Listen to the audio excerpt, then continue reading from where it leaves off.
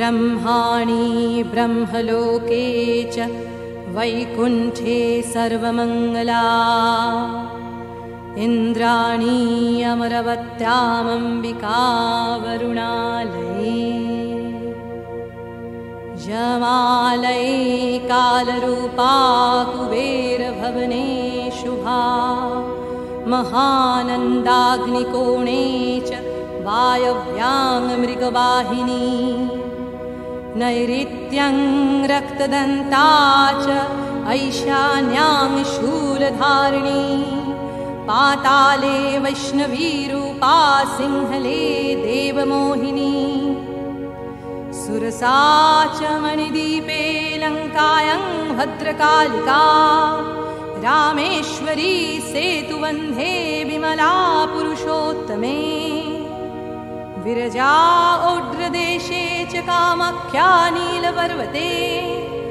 कालिकावङ्गदेशे च अयोध्यायं महेश्वरी वर्णस्यावन्नपूर्णा गयाक्षेत्रे गैश्वरी कुरुक्षेत्रे भद्रकाली व्रजे कात्यायनी परा द्वारकायं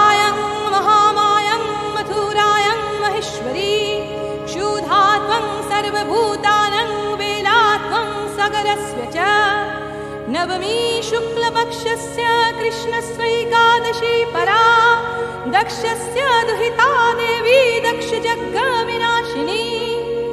रामस्य जानकी त्वं हि रावणधंसकारिणी चण्डमुण्डमधे देवी रक्तबीजविनाशिनी।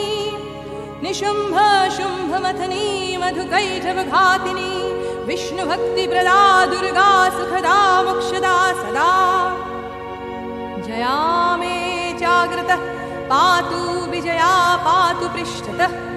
नारायणी शीर्षदेशे सर्वाङ्गसिंहवाहिनी। शिवदूती उग्रचण्डा प्रत्यक्षे परमेश्वरी। विशा